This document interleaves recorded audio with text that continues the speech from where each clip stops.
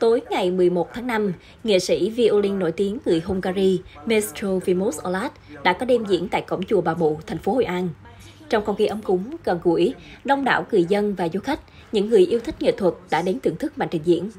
Chương trình do Ủy ban dân thành phố Hội An phối hợp với Đại sứ quán Hungary tại Hà Nội tổ chức nhằm chào mừng kỷ niệm 10 năm thiết lập quan hệ kết nghĩa giữa thành phố Hội An và thành phố Szentendre, Hungary 2014-2024.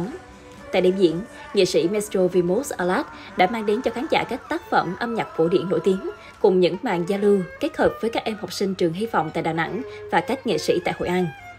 Chia sẻ cảm xúc của mình tại đêm diễn, nghệ sĩ Maestro Vimos Alat bày tỏ sự yêu thích, những ấn tượng đặc biệt dành cho Hội An. Đồng thời, ông cảm thấy rất vinh dự vì được mang âm nhạc của mình làm cầu nối trong dịp kỷ niệm 10 năm thiết lập quan hệ kết nghĩa giữa hai thành phố Szentendre, Hungary và thành phố Hội An.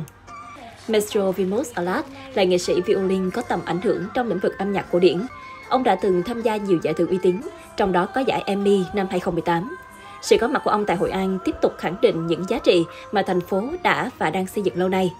Chương trình cũng góp phần tăng cường mối quan hệ hợp tác, ngoại giao giữa Hội An nói riêng và Việt Nam nói chung